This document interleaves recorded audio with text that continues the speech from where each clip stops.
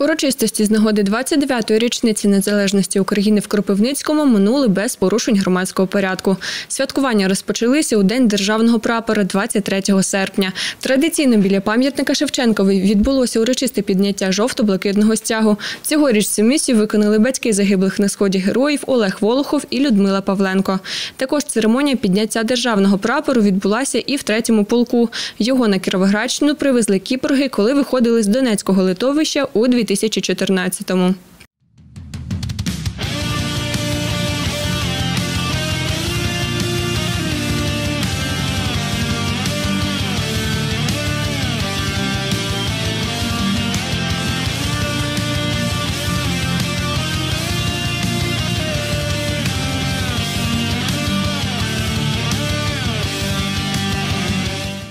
День незалежності України в обласному центрі розпочали з ушанування пам'яті борців за свободу. Містяни поклали квіти до меморіалу Героям Небесної Сотні, пам'ятних дощок Віктору Чмеленку та В'ячеславу Чорноволу. Біля пам'ятника Володимира Виниченку перші особи регіону нагородили чинних військових і ветеранів.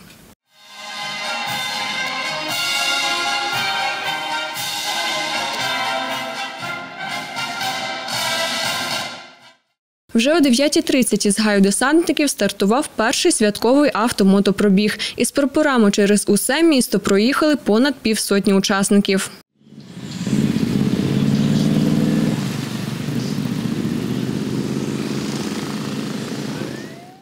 Люди сприймали нас дуже позитивно.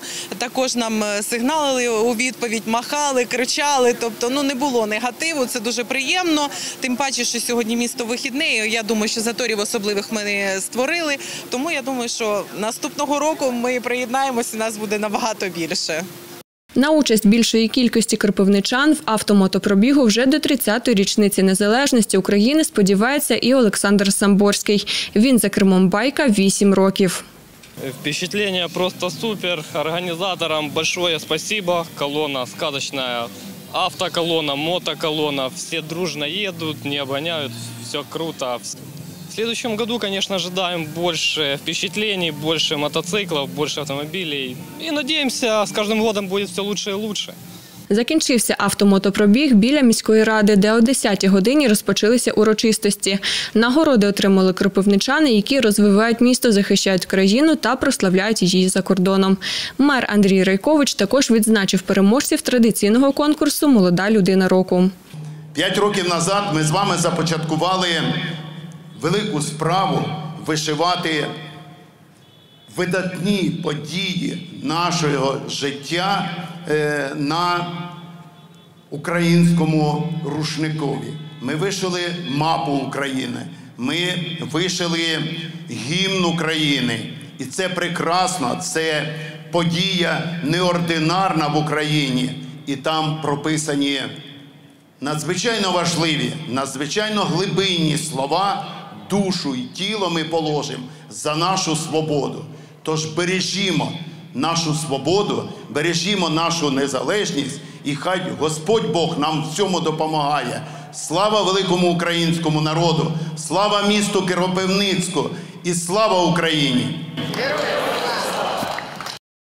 Продовжилося святкування Дня Незалежності України ходою вишиванок о 17.30 від пам'ятника Янголу-охоронцю і до площі Героїв Майдану. Це вже 11-й у Кропивницькому.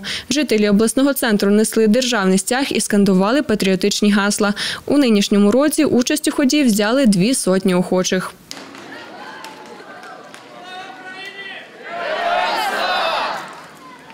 Кропивничанка Ніна Кропська вишила сорочку власноруч ще в 90-х. Вишиванку береже, одягає лише на свята.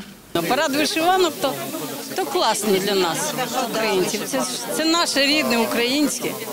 І по вишиванці ми, в принципі, пізнаємо одне одного.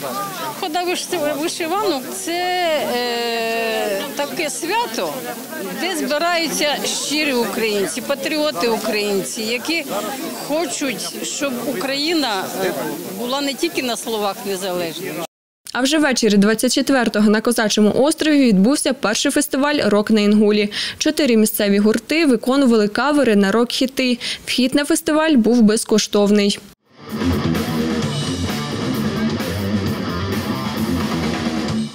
Кропивничанину Ігорю Зунзі 48. Роком захоплюється з юності. Каже, прийшов на захід, аби більше дізнатися саме про місцеві рок-гурти. А такие мероприятия, да, надо проводить, они очень интересные, свежий воздух, хорошая музыка приятная. В принципе, с группами с этими не знаком, но будем стараться подольше находиться, посмотреть именно все группы. Соліст рок-гурту Стром Брінгер Олександр Котов зізнається, такого заходу в Кропивницькому не вистачало. Готовились по рок-н-ролльному, как всегда. Концерт, э, впечатление, это очень круто.